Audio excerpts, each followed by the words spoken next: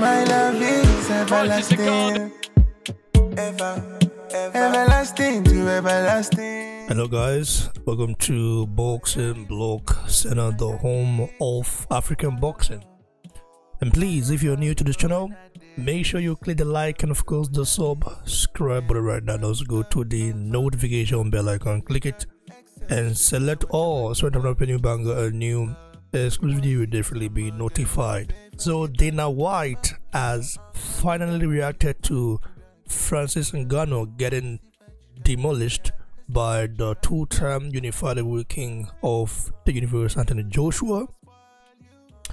Dana White is a very I don't listen. I like Dana White uh, because he's a very smart uh, businessman, of, co- of course, you know. But let's not forget how Dana, Dana White, Dana White exploits his UFC, his fighters in the UFC, pay them pennies. These guys put their life on the line. I don't really respect this man like that anymore, like I used to. I have huge admiration for him as a businessman, but as a person, I don't think this guy has this guy has any empathy or sympathy for any of his fighters. He just see them as, you know, as um uh cash cows and you know cows he can he can milk from. It's just one of those things. Let's of course hear what he had to say regarding the fight. He said if Fury trained for the fight and didn't show up and look like he hate Tyson Fury, that's probably the way that fight would have ended too. It's all funny saying this now. What do you mean? What did I make? Yeah, what did I make? like- Listen, let's you just have to just hear him say this. Did you uh, see the match, the boxing match last night? Did you talk to Eddie after it? I did not. Um, I, I mean, I saw it on, I saw it on social media. Yeah. What did you make of that finish in the Francis fight? Wh- What do you mean? What did I make? what did I like- make of it? When you saw it, like it was, it was, it was. People are saying it's one of the more violent knockouts in boxing history. Yeah, I mean, going into the Fury fight, if Fury trained for the fight and didn't show up and, you know, look like he ate Tyson Fury, that's probably the way that fight would have ended too. I mean, listen, the crossover, you know how I feel about crossovers into boxing, and that's that's how they end, just like that. Well, you can hear Dana White. Listen, Dana White has no. Listen, Ngannou is a winner in life. Is a winner. Ngannou won the battle against Dana White. Ngannou won the battle against Dana White. Saying that if Tyson Fury didn't come up or didn't come up, look like he hate Tyson Fury, does not listen. Not that the fight with Tyson Fury is a different kind of was a different kind of fight. Francis Francis Ngannou had about twenty million dollars. He won. Listen, throughout his whole UFC career, he spent like seven years in UFC. He didn't even make up to fourteen million. He didn't make not in his last fight in UFC. He got paid pennies. Seven, it wasn't on six hundred thousand dollars, and then he had to borrow two hundred thousand dollars from Kamaru Usman. Dana White has, has no moral ground to speak on Ngannou, who is a who is a winner in life, a warrior, a well-respected guy. Dana White is just bitter. Francis made 30 million in two boxing matches. So he made more than all the champs in the UFC who earned this year. Facts. So um first of all, let's keep it real. Tyson Fury is not is not a naturally gifted puncher like Anthony Joshua. They're not the same fighter. Joshua is a beast of a man. Joshua is a beast of a man. Tyson Fury can't drop you with one punch. It can't. It takes him like a couple of like it takes him time to do that. He he, he peppers you with a jab. He, he has to beat you down first before he's able to knock you out. Joshua don't have to do that. Joshua can literally land three punches, and those three punches will knock you the fuck out. Facts. In the Ngannou fight, Joshua landed. I think if I to count it, I think he landed four times. Two times Ngannou got dropped.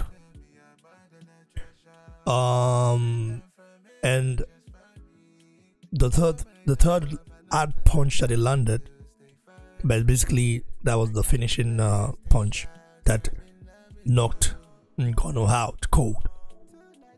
So the first one he landed was, I mean, the first one, of course, he dropped Ngannou with a straight right hand, but there was when he, he jumped on the Ngannou after Ngannou, like after I think it was the first round, he jumped on the Ngannou, but seeing Ngannou was still very much there because Ngannou wasn't phased then. So Joshua took his time not to for for him not to be like the Jr. like a fight again all over again. You know what I mean? So um, I'm proud of Francis Ngannou. He's an inspiration. He's a guy that inspires, um, that will inspire a lot of African fighters.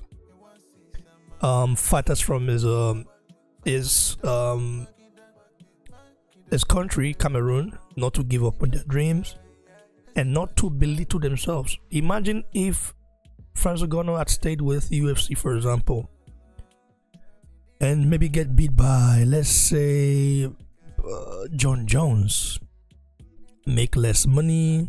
I know the UFC losses doesn't really count like that, but there is no way Jon Jones is making the money Francis Ngannou made in in five fights in UFC. Facts. That's all facts. So I'm proud of Ngannou, even though he talked too much. I think he began to talk too much. The confidence he got in the and in the, in the Fury fight was like immersed. You know, he talked too much. His trainer, I think, is uh, was his name? I always forget his name, Cooney or something. That guy talked Ngannou hop too, like he talked Ngannou hop like crazy. I know you have to hype your, hype your, hype your fighter, but saying Joshua has nothing that Gordon doesn't have, that um, uh, fist is going to ram through Anthony Joshua. I want to see an interview of that trainer. I think IFL should do something with it. I think he does. He's too embarrassed to, to even do that anyway. So Dana White is no moral ground to talk down on Francis Ngannou. Francis Ngannou is a winner in life He's basically made forever. Okay, coming from where he came from, the man came from from absolutely nothing. I mean, nothing, nada. And for him to be in the position that he is, and I I don't think Ngannou's boxing career is over. It's not over at all. Ngannou boxing career, boxing career is not over. Ngannou, in my opinion, if I were to be Ngannou, I would pursue the Deontay Wilder fight. A dangerous fight, but a fight that both fighters can win. He can win the fight. Wilder can also win the fight. Wilder can lay him out like Joshua did, but he can also lay Wilder out. You know, and both coming off from coming off uh, losses. That would be nice. I'll be that would be an, an, a knockout. Uh, someone must get knocked out in that in that fight. So, because Wilder is not the same Wilder, like uh, like it doesn't it doesn't bust anymore. He relies on that punch, and Ngannou probably will implement something different to bully Wilder because it will be it will be outweighing Wilder by like listen, Wilder always come around 220, right? bro, it will you be outweighing Wilder by 40 pounds, bro. Like maybe 50 pounds, but 50 pounds. That's crazy. So you probably lean on Wilder, use his weight. If I were to be Ngannou, if I was gonna, I wouldn't, I would retire. I would keep boxing. God, the fundamental is there. He made a very big mistake in trying to like, um, turn southpaw against Anthony Joshua. Listen, Joshua fought the best southpaw in the world. That's Usyk. So, and Ngannou is not even close to that. Still an amateur, basically a novice in the boxing world. But he did his own thing against Fury. That fight is not a fluke. Ngannou just had a a, a, a, a element of surprise. And if he work, if Ngannou works on his craft, Ngannou also had the belief that his chin was unbreakable. That also cost him big time because no chin is invisible. I always say mm, Ngannou's a strong man, but a chin, if you get hit by Anthony Joshua, no matter how strong your chin is, you're gonna feel it. It's facts. No matter how strong of a chin you have, you are going to feel it. You're gonna go down or wobble, and that's what happened. Big ups to Ngannou. I hope he comes back, and um, I hope he doesn't give up on boxing because I think Ngannou with with Ngannou naming uh, naming the miss, like it would be nice. You know, boxing is where the money is. That's why a lot of people wouldn't like. They, they, some UFC fight fans are saying, "Yeah, why don't boxers go to UFC to go make peanuts?" I mean, you you think Joshua will go to UFC and make two, two, 10 million when he makes double that or triple that in boxing? Go to MMA uh, Octagon and make uh, do MMA and make 10, 5 million? Like, you know, why can't he pay? Can't even pay Joshua?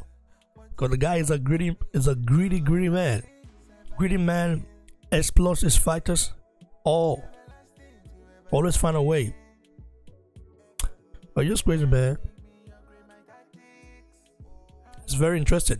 So, guys, on like the video, share, subscribe. What do you make of Dana White, Dana White's um statement regarding Ngannou?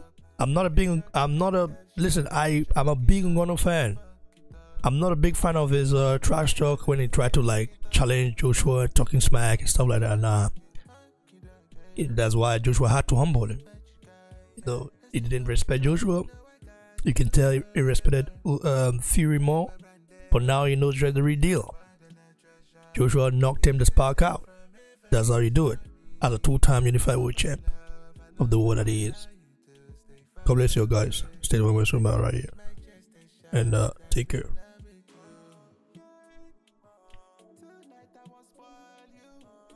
Girl, I want touch you. Want make good use of you. Oh. oh, oh.